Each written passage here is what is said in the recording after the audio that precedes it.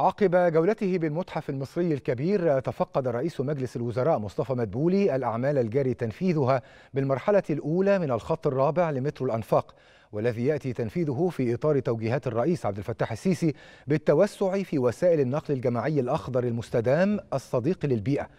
هذا وتفقد رئيس مجلس الوزراء المحطات في نطاق المتحف المصري الكبير حيث أوضح أن نسبة تنفيذ الأعمال المدنية بمحطة المتحف بلغت 40.6% وبمحطة الرماية 35.6% كما تفقد مدبولي أيضا أعمال إعادة الشيء لأصله بالمنطقة المحيطة بالمتحف والتي تم الانتهاء منها بنسبة